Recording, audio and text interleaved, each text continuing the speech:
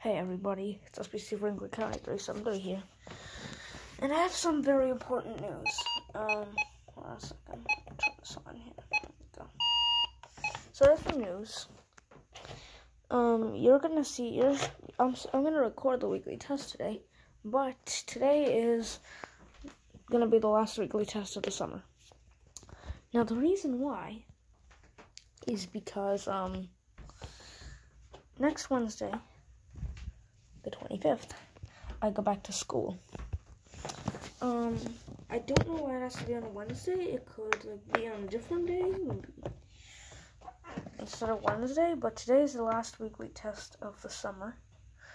So, you're not really gonna see. So, I started on the 25th. So, starting on the 25th, you're not really gonna see any more of NOAA Weather Radio, but that does not mean I'm leaving the EAS community. No, that, that doesn't mean that. I'm still going to be in the EAS community. It's just that you're not really going to see as much as much as alerts as before. Um, so I just woke up, so some radios are still off. Um, even though I did get woken up by these alerts, I was like super tired to even get up. So I took a little nap after that, and now I'm up. Uh, so yeah. So today's the last. So on the 25th, um, I'm gonna try to catch as much alerts as I can. Pretty much the next time you're gonna see all these alerts is like Thanksgiving.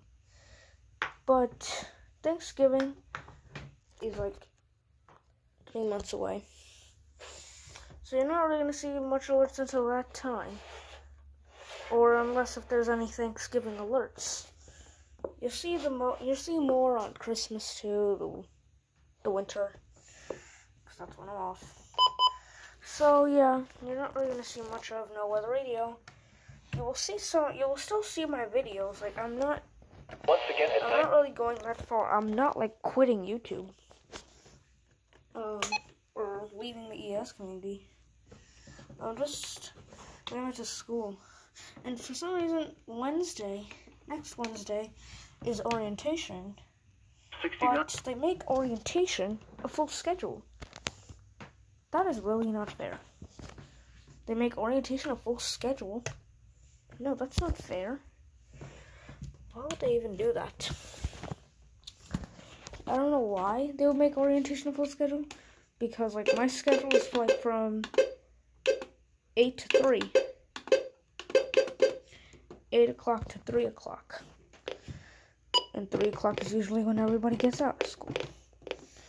I don't know why they would do that. Like, you should put orient, like, they should put orientation as, um, you know, like a half schedule, maybe like until 12. But no, they don't do that. They make it full. so not fair. No, no. That's so not fair how they do that.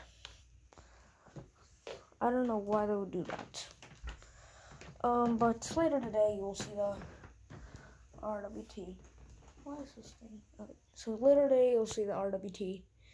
But from now I, I I might record some flash flood alerts if they are if there are anymore. Because I got woken up at like four in the morning for a flash flood watch, and my WR400 went off for some reason and my 300 of course which is always on my zone guard too.